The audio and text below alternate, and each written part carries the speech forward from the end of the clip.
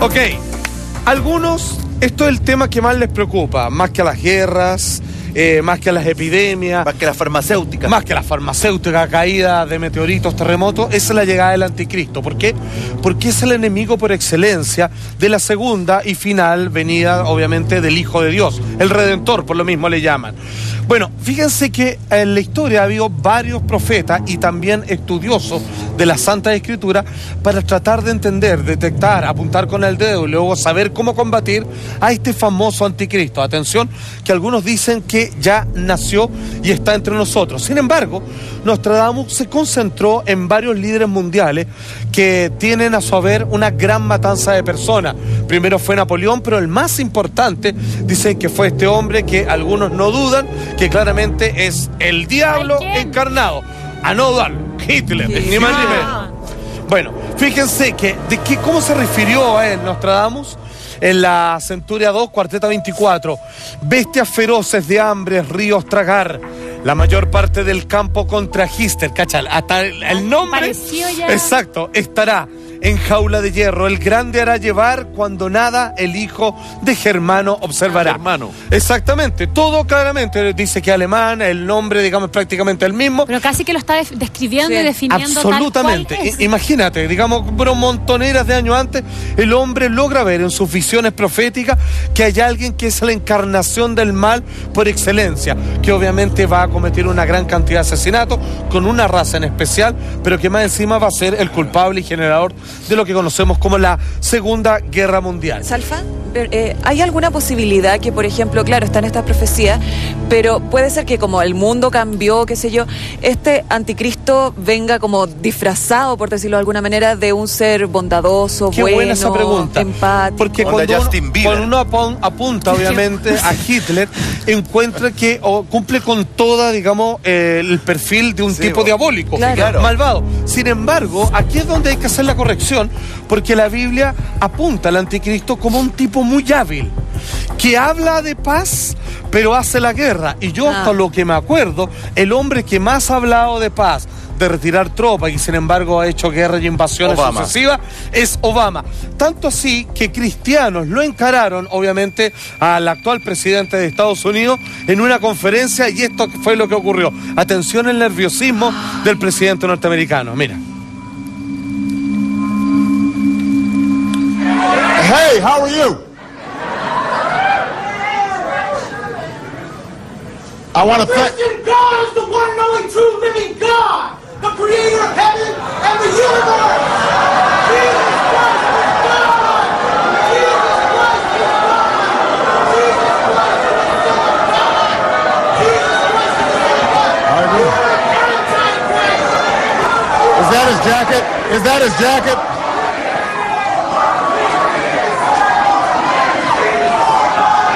Is that his jacket?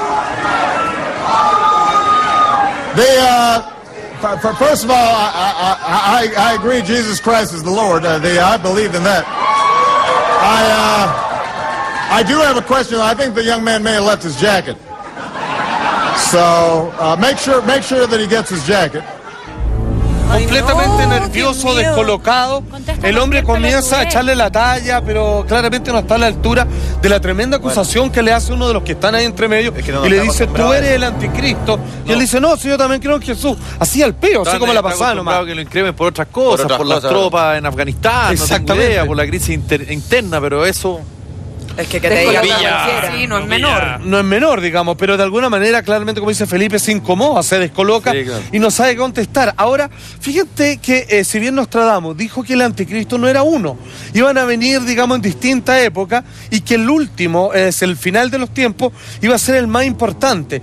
Y algunos, si están increpando a Obama en pleno discurso diciendo usted el anticristo, fíjate que no se aleja tanto lo que alguna vez el propio Nostradamus también se refirió frente a los futuros y quizás el último antagonista de Jesús. Por favor, mira lo que dice Nostradamus al respecto y No una me vez más. No, ¿qué te pasaste? Dice, mira. El gran imperio se transformará de la nada, ¿ok? El todopoderoso por más de 400 años.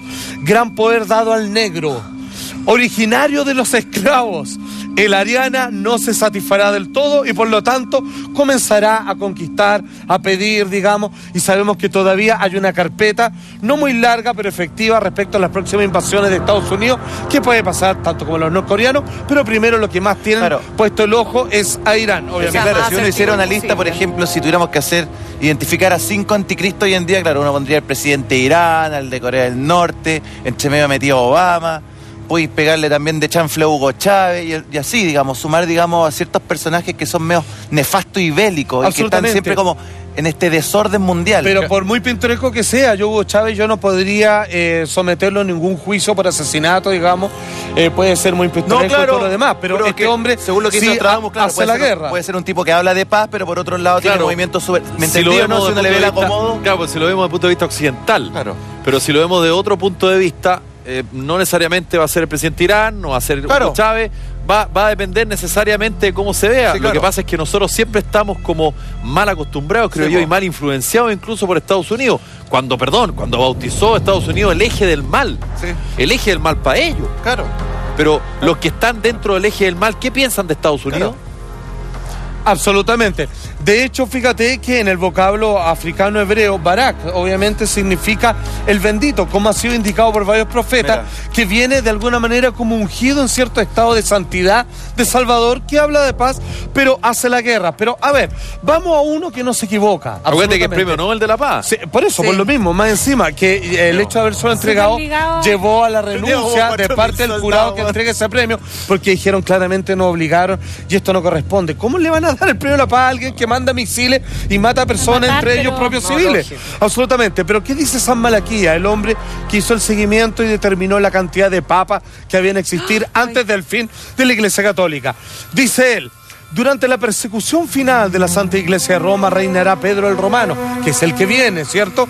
Quien alimentará a su rebaño entre muchas tribulaciones, o sea, va a heredar los problemas de la iglesia que ya Benedicto XVI dejó.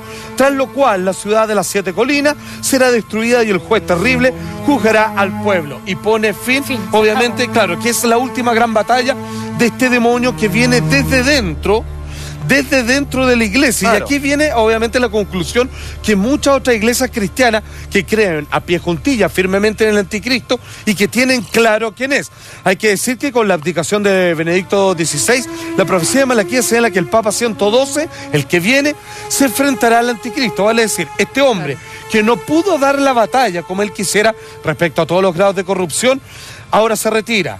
Hoy día fue la última vez que digamos que él comenzó, eh, dejó de ser papa. Sede vacante. Exactamente. Y el que se viene va a enfrentarse directamente, el último papa que queda, según este profeta, con el- la bestia, con el anticristo. La lista la publicó hoy- ayer el New York Times, ahí quizás puede estar la bestia. Exactamente, bueno, y probablemente. Pero atención, fíjese que creo que según los estudiosos de la Biblia, en esa lista está la bestia. Sí, pues. Y se lo voy a decir, Dígalo, porque a saben que el que da la pista sencillamente es el Apocalipsis, o, o traducido el libro de revelaciones, que es el último libro con lo que se termina la Santa Escritura de la Sagrada Biblia. Dice acá, esto todos lo conocen, como el ser o no ser de Hamlet, esto es lo que dice el Apocalipsis. Aquí hay sabiduría. Mucha atención, porque esto es una invitación a las personas, a los cristianos, a los creyentes, para que puedan identificar anticristo. Dice, el que tiene entendimiento, que cuente el número de la bestia, pues es número de hombre, vale decir, está relacionado con una creación del hombre que obviamente dice representar a Dios, pero solamente es creación humana. Y su número es 666.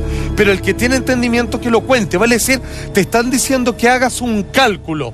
Y atención amigos míos, porque fíjense que testigos de Jehová, evangélicos, que hacen una cantidad de charlas tremendas de hace varios, años en todo el mundo, dicen que lograron calcular el número de la bestia y tomando todos los datos que la Biblia entrega de cómo deberá ser, que es un hombre que habla de paz, que hace la guerra, que es carismático, inteligente, que viene de las minorías, que parece partir de abajo y termina siendo reino absolutamente monarca de todo el mundo y que él decide, digamos, los hilos de los títeres de la vida de los que somos todos nosotros, dice que ya claramente saben quién es. ¿Quién es?